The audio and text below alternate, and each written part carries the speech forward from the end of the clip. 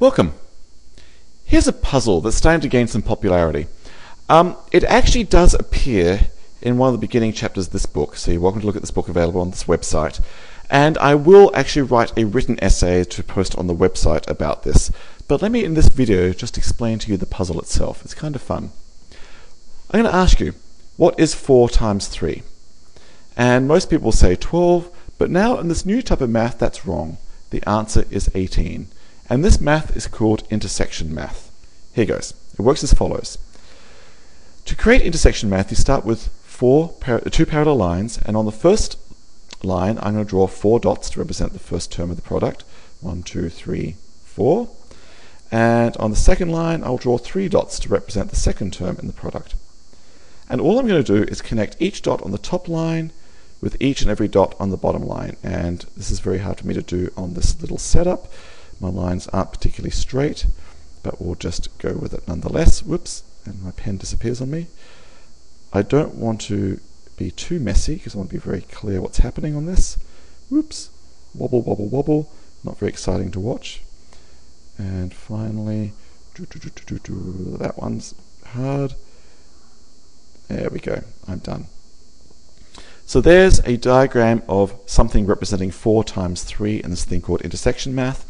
And what am I going to count in intersection math? You've guessed it, the intersections 1, 2, 3, 4, 5, 6, 7, 8, 9, 10, 11, 12, 13, whoop, that's not, that's a full one, 14, 15, 16, 17, 18.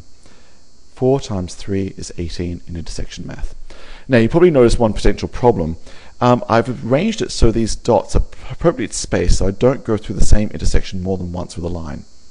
So we're going to go for the maximal number of intersections without having any faux intersections. In fact, here's a potentially faux intersection from a bad drawing on my part.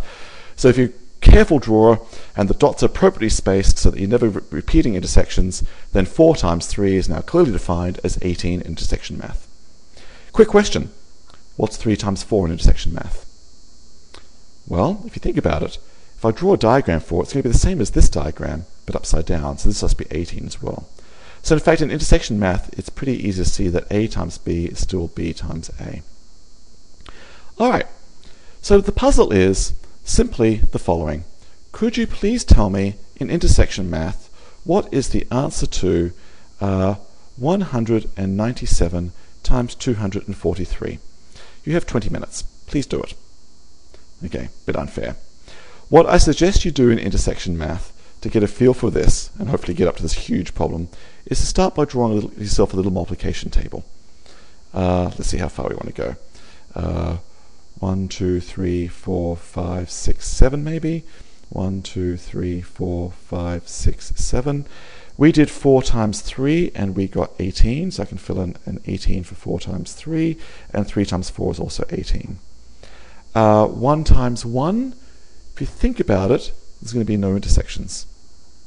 So there's a little piece. 2 times 2, if I draw a little picture on the side, 2 and 2, draw in all the possible lines, that creates one intersection. So off I go. I can go ahead and fill in that table. I suggest you do so.